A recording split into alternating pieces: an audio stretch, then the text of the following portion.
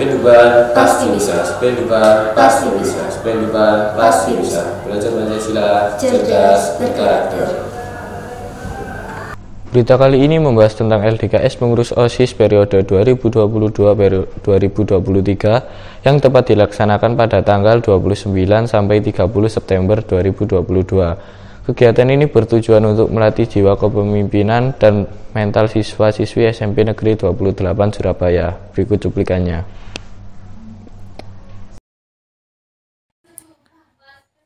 Kelas meet yang dilaksanakan oleh SMP Negeri 28 Surabaya ini menjadi salah satu kegiatan atau acara sekolah yang dinanti-nanti karena acara ini mempertemukan siswa antar kelas dan melaksanakan serangkaian kegiatan mulai dari perlombaan ataupun pertandingan.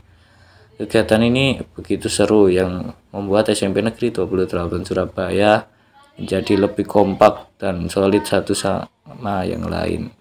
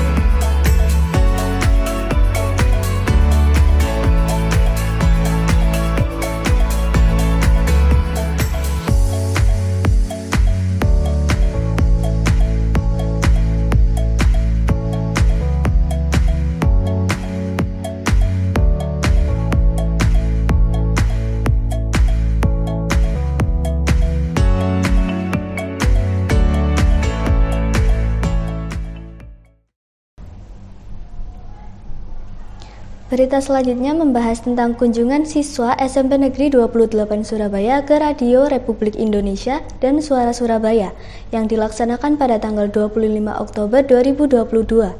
Kegiatan ini bertujuan untuk meningkatkan kemampuan siswa dalam public speaking dan pengetahuan tentang radio yang ada di Indonesia. Saksikan cuplikannya berikut ini.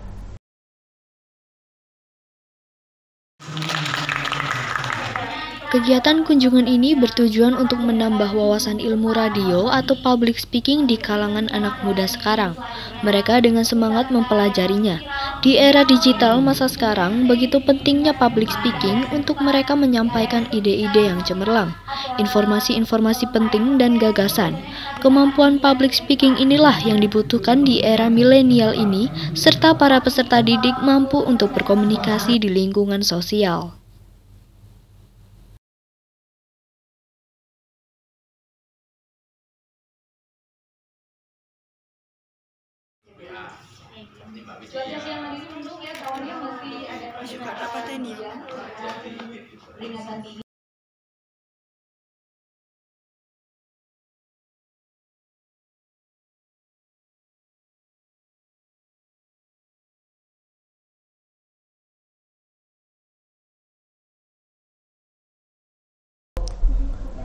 Pemirsa, pada tanggal 28 Oktober 2022, tepatnya pada Hari Sumpah Pemuda, SMP Negeri 28 Surabaya mengadakan event yang cukup menarik, yaitu fashion show.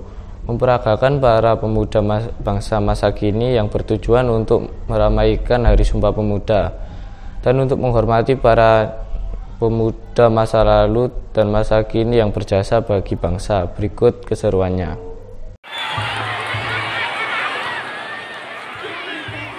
Upacara impersonit pahlawan serta flash mob adalah cara memperingati Hari Sumpah Pemuda di SMP Negeri 28 Surabaya. Seluruh warga Sekolah SMP Negeri 28 Surabaya memperingati Hari Sumpah Pemuda ini dengan hikmah. Pada tanggal 28 Oktober 2022, tepatnya Hari Sumpah Pemuda adalah salah satu hari di mana sangat berjasa mengingat histori perjuangan para pemuda Indonesia. Tujuan diadakannya acara seru ini adalah untuk mengajak warga Spendupan mengingat sosok pemuda yang berjasa di era sekarang maupun era terdahulu dengan cara yang seru. Cukup di sekolah saja, semuanya dapat memperingati Hari Sumpah Pemuda ini dengan lancar. Tentunya acara ini berjalan sangat lancar dan menyenangkan bagi seluruh warga SMP Negeri 28 Surabaya.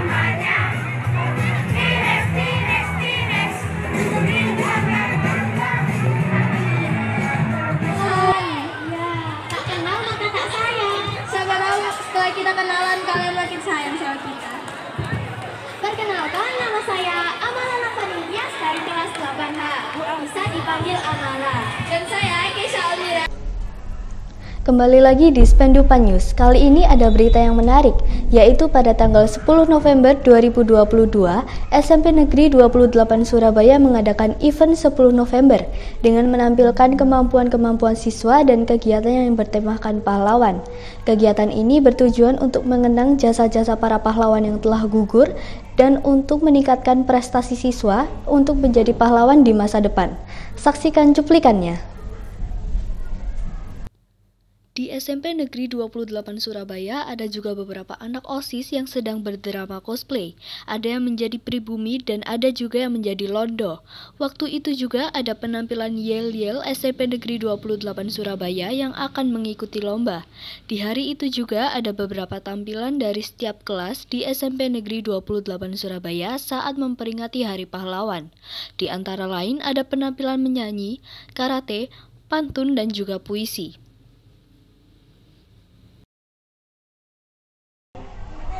Berita selanjutnya membahas putar kegiatan di SMP Negeri 28 Surabaya sebelum libur semester dengan mengadakan kelas meet.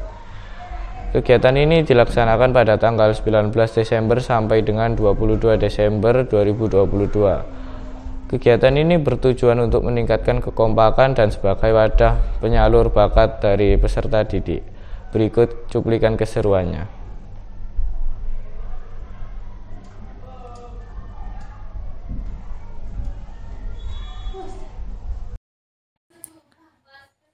Kelas meet yang dilaksanakan oleh SMP Negeri 28 Surabaya ini menjadi salah satu kegiatan atau acara sekolah yang dinanti-nanti karena acara ini mempertemukan siswa antar kelas dan melaksanakan serangkaian kegiatan mulai dari perlombaan ataupun pertandingan.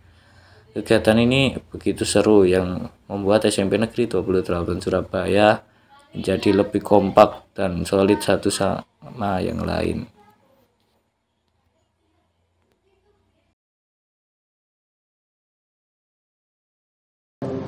Ini beberapa informasi yang bisa kami sampaikan hari ini. Mohon maaf sebesar-besarnya jika ada tutur kata atau tindakan yang kurang berkenan bagi pemirsa sekalian. Sampai jumpa di Spendupan News selanjutnya. Spendupan pasti bisa belajar Pancasila cerdas berkarakter.